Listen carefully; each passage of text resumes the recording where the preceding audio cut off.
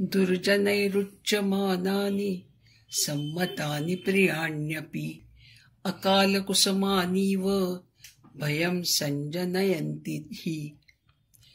दुर्जनैः उच्यमानानि, सम्मतानि प्रियाणि अपि, अकालकुसुमानि इव भयं सञ्जनयन्ति हि।